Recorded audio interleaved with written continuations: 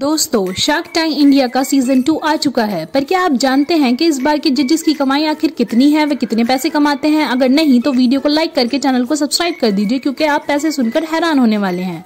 Number एक पर है अमित जैन, जो को फाउंडर है कार देखो ग्रुप के, और इनकी एक साल की कमाई उनतीस करोड़ रूपए की है। नंबर दो पर है अमन गुप्ता बोट कंपनी के मालिक। अमन गुप्ता की एक साल की कमाई सात सौ करोड़ रूपए के लगभग है।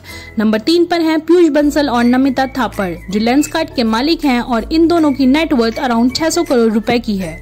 नंबर चार पर है विनीता सिंह, जो शुगर कॉस्मेटिक ब्रांड से फ़ेमस हो गई हैं और आज एक साल में लगभग 300 करोड़ रुपए कमाती हैं। नंबर पाँच पर है अनुपम मित्तल, जो शादी डॉट कॉम वेबसाइट के फाउंडर हैं और इनकी एक साल की नेटवर्थ अराउंड 185 करोड़ रुपीस की है। अगर आप भी इस शो के फ़ैन हैं तो कॉमेंट में अपने फेवरेट शार्क का नाम ज़रूर लिखना और चैनल को सब्सक्राइब भी कर देना। Thanks for watching